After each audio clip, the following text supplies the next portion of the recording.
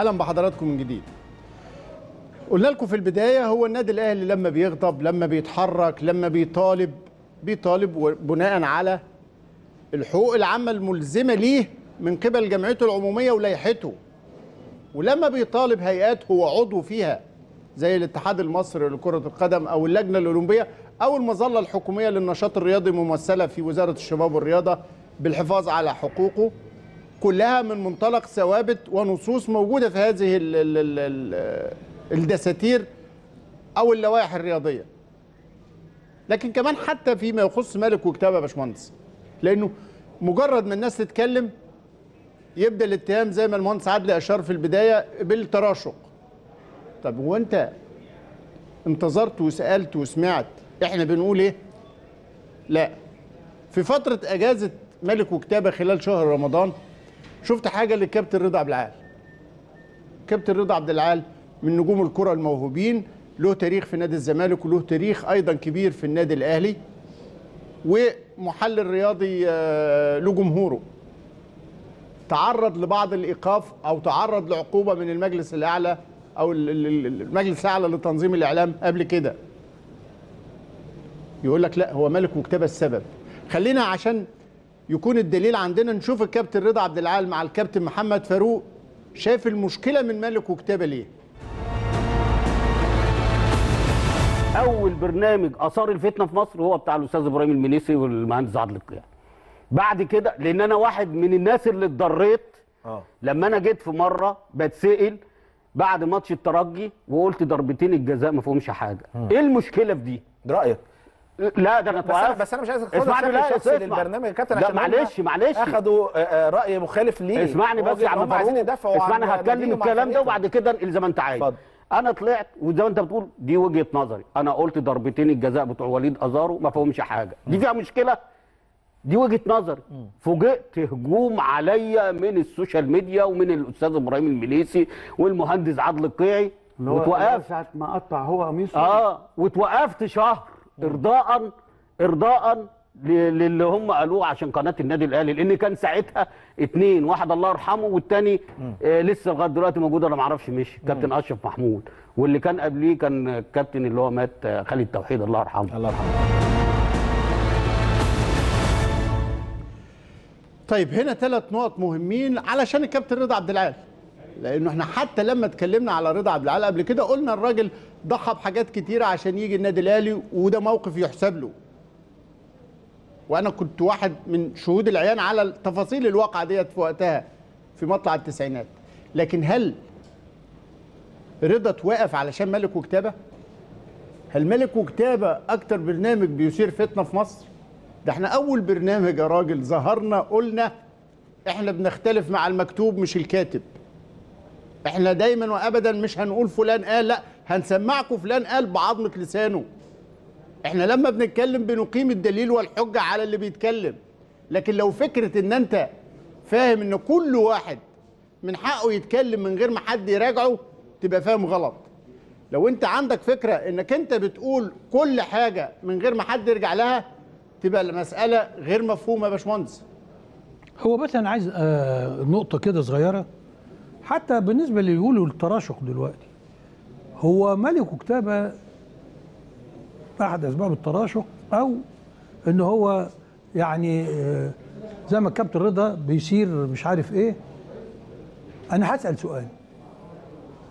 عندما كان ينفرد ملك وكتابه بالساحة الرياضية لأن ما كانش فيه إعلام مقابل. يعني كانت في قناة الأهلي ما كانش يقابلها إعلام. لحد العدد تقريبا 400 وحاجة صح؟ 450 يمكن.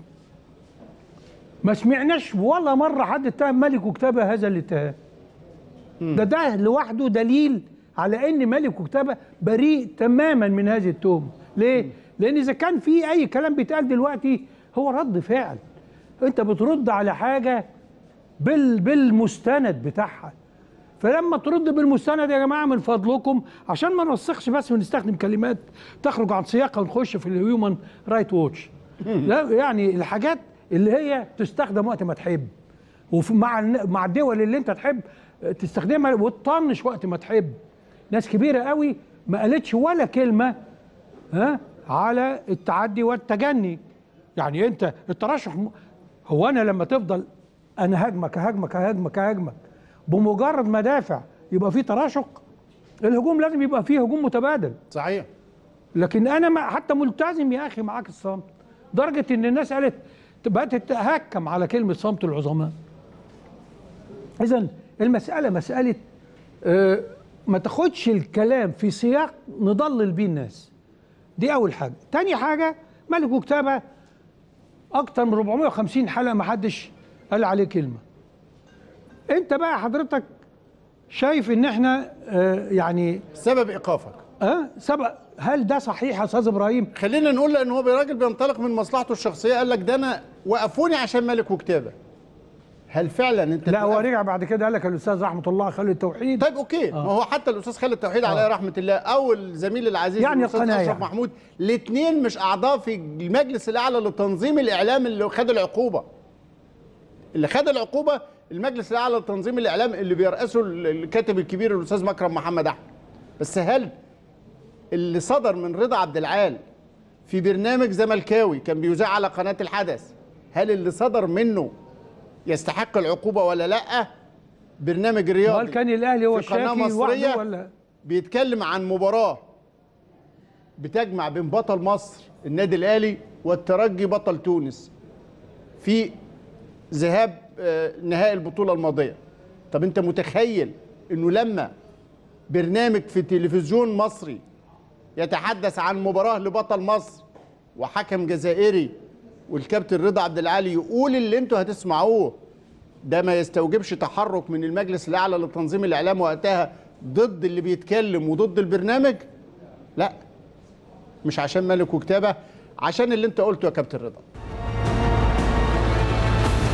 في ماتش نهائي زي نهائي أفريقيا كده. وتيجي انت تقوم جاي لاغيها عشان انت موجه كحكم البطولة النادي بعينه؟ لا. أنا لو الاتحاد الأفريقي الاتحاد ده صارم وعنده فعلا مصداقية وعايز يطلع الموضوع ده يوقف حكم المباراة النهارده ويبطلوا تحكيم زي اللي إحنا ولو لو أثبتت عليه كمان إن هو كان واخد رشوة أو مش واخد رشوة. لأن النهارده دي فضيحة فضيحة للتحكيم. أنت دلوقتي تقنية الفار دي العالم كله بيتكلم عنها وأنت جبتها لغاية هنا في ماتش زي ده. ويجي أنت تضرب بكل ال- الكلام ده ضرب الحائط ومالكش دعوة بيها وتروح وتشوف وهم كمان بي يعني بيأثروا عليك وبيقول لك الكرة مش ضربة جزاء وأنت مصمم. وبعد كده تيجي تقول لي وبعد ما بصيت الفار وتقوم جاي عامل بإيدك كده وتقوم جاي حاسب ضربة جزاء إيه البجاح؟ ده أنت قارح يا جدع. ده أنت قارح. لا لا لا لا أنا بكلمك ده ده أنت حكم فاجر. ولازم على الاتحاد الأفريقي أقسم بالله لو هم ناس محترمة وناس ما لهمش في اللف والدوران الحكم دوت ما حكمش تاني ويبطل تحكيم ويتوقف مدى الحياة. فضيحه ده ده فضيحه لمصر قبل ما كل النادي الأهلي. قولوا لي بقى لو أي حد في جهة مسؤولة عن تنظيم الإعلام سمعت كلام زي ده في برنامج في قناة مصرية عن مباراة لنادي مصري ضد آه نادي منافس تونسي أو غيره أنت بتتكلم على اتهام مباشر بالرشوة؟ بالرشوة. ودي فضيحة وده حكم فاجر وده كان لازم ده يحصل وازاي ده يتسكت عليه ودي إساءة لمصر. هنا النادي الأهلي في هذه المباراة اتهم منك يا كابتن رضا بشكل مباشر بأنه قدم رشوة. الحكم نفسه مهدي عبيد الجزائري اتهم منك بأنه حكم فاجر وحكم فاسد وحكم مرتشي. بالمناسبة رقم واحد هذا الحكم خضع للتحقيق من قبل الاتحاد الأفريقي. مهدي عبيد. وثبتت براءته تماما. ورجع حكم واشتغل. ومش النادي الأهلي اللي يتقال عليه كده. إنه قدم رشوة. أنتوا بتستسهلوا السوداء. والمستندات اللي اتضربت. بتستسهلوا الاتهام بهذا الشكل. ده ده لا ما تستسهلوش. ده لأن كان في خطة إن إن إن, إن إحنا وأنت اذعت ما هي دي اللي أنا هجي لك فيها بقى. لأنه لما أي جهة إعلامية مسؤولة في مصر تسمع كلام في برنامج. سيبنا من إنه البرنامج اسمه زملكاوي وكان في قناة الحدث. لكن لما يكون فيه حد مصري أو حد إعلامي على فكرة ده ممكن في أي مكان في العالم تتاخد فيه عقوبات شديدة جدا لأنك أنت مبدئيا بتتهم ناس في ذمتها وسمعتها سواء الحكم أو النادي. بهذا الشكل والاتحاد الأفريقي الفاسد ساكت ليه؟ والنادي الأهلي ودي رشوه والبطولة موجهة. الاتحاد ال- ال- ال- أو المجلس الأعلى لتنظيم الإعلام قبل ما ملك وكتابة يتكلم في سياق التناول الإعلامي بتاع كله الناس كلها بتتابع وشافت. تم إيقاف البرنامج وتم إيقاف الكابتن رضا عبد العال وده إجراء بسيط جدا لأنه النادي الأهلي بقى النادي الأهلي لو هو فعلا عايز يتلكك للناس لا ده يعمل دعوة مباشرة صريحة. ده أي عضو في النادي لما يسمع الكلام ده من حقه بشكل مباشر يعمل دعوة لأنه ده حصل. فيا كابتن رضا مش مالك وكتابة كان السبب قسوة الكلام والاتهامات اللي أطلقت كده باستسهال كانت كفيلة جدا وكافية جدا لاستصدار عقوبات ربما أشد من اللي حصلت. اللي حصل بقى في ال- اللي أشار إليه المهندس عدلي إنك أنت تلاقي بقى الجانب التونسي الشقيق إعلام الترجي وجماهير الترجي تاخد الكلام ده وتذيعه عندها قبل المباراة ال- قبل مباراة العودة اللي حصل فيها الشغب واللي اتعور فيها هشام محمد واللي كان ممكن ما تتلعبش وكان ممكن تحصل كارثة في استاد رادس. يوميها استندوا إلى اللي حصل من مصر وإنه القنوات المصرية بتقول إن الأهلي قدم رشوة وإن القنوات التونس المصرية بتقول إن مهدي عبيد واخد رشوة. ده في مستندات اتضربت واتبعتت لهم وبرنامج أو معد برنامج الكابتن خالد الغندور يبعت لهم والمذيع التونسي يقول جالنا من معد خالد الغندور ما يفيد إنه كذا ويتم ضرب ورقة إن صادره من الشركة. حتى أعتقد إنه قال الاسم يعني قال ماهر جنينة أو حاجة. ماهر جنينة آه أنا نسيت الاسم. أنتوا متخيلين إحنا كمصريين بنعمل إيه؟ نعرض فرقة الأهلي لكل اللي حصل في تونس بسبب هذا الكلام. فإذا ما اشتكيت تبقى أنت سبب ال- الفتنة. آه. أوعى تقول آي. أنت فاهم؟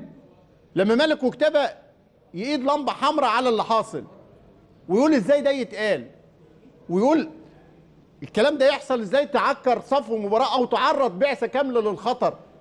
طبعا كان سبب مباشر لكهربة ال- الجو في تونس وضياع بطولة من الأهلي. والطوب والط- وال- والإصابة المباشرة اللي حلت باللعب كان ممكن تبقى أخطر من كده بكتير يعني. لعبت في هذا الجو وضاعت البطولة والمجلس الأعلى لتنظيم الإعلام بالمناسبة يا كابتن رضا عشان أفكرك لما طلع قراره اولا كان أستاذ خالد توحيد الله يرحمه والأستاذ أشرف محمود وبقية الناس دول أعضاء في لجنة ضبط أداء الإعلام الرياضي. ضبط الأداء في لجنة الإعلام الرياضي دي رئيسها الخال الكبير والاذاعه الرائد الأستاذ فهمي عمر. وده راجل من غلاة الزملكاوية بس راجل مهني كبير وراجل قيمة كبيرة جدا. فمش القضية إنه القرار طلع علشان الأستاذ خالد توحيد الله يرحمه أو علشان الأستاذ أشرف محمود القرار طلع من جهة أعلى تانية اللي هي المجلس الأعلى لتنظيم الإعلام اللي لما طلعت قرارها قالت عقوبات نارية من الأعلى للإعلام ضد رضا عبد العال والزمالك اليوم ده البرنامج. وقالت قرر المجلس الأعلى للإعلام منع استضافة رضا عبد العال لاعب الأهلي والزمالك السابق والمحلل بقناة بيراميدز وقتها في أي صحيفة أو وسيلة إعلامية مرئية أو مسموعة أو إلكترونية لمدة شهر. نظرا ده اللي قالته أو اللي قاله المجلس الأعلى لتنظيم الإعلام مش ملك وكتابة يا كابتن رضا. ليه؟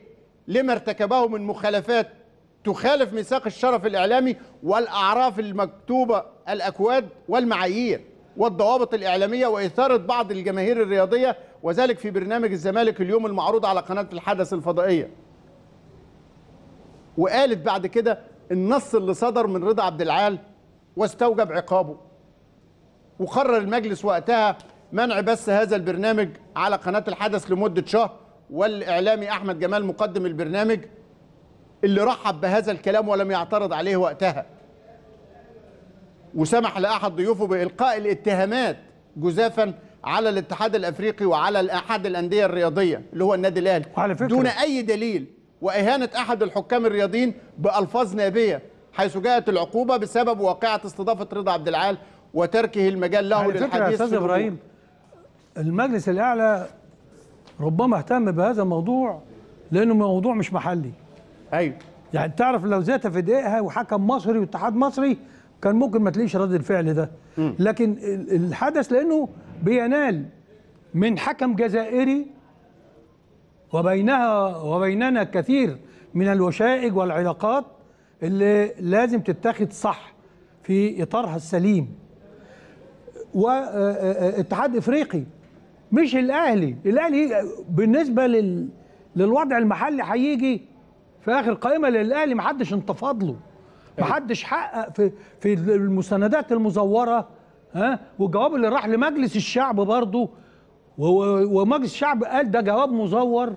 أيوه محدش حقق مع إن التحقيق كان هيوصلك لمين اللي بعته بسهولة شديدة. أيوه هو ده اللي كان حق الأهلي يجيله من هنا. أيوة. أما الانتفاضة دي انتفاضة لأن في أسماء آه لازم لازم نحترم علاقتنا بيها. ما هياش ما هيش زيتنا في دقيقنا يعني. فإحنا يعز علينا إن الكابتن رضا بأي حال من الأحوال يصيبه أي ضرر. لم نسعى ولن نسعد ان طبعاً. يصيبه أي ضرر لكن يعني إذا كنت حضرتك وضحت عشان ما يبقاش جواه هذا الشعور إن إحنا السبب. آه بس إن ملك وكتاب السبب آه إن أنت السبب آه. وحتى أنا بقول لك يعني قلت له عشان هو فاهم كده لازم يفهم الحقيقة طيب جزء بقى من المشكلة الكبيرة قوي الفترة اللي فاتت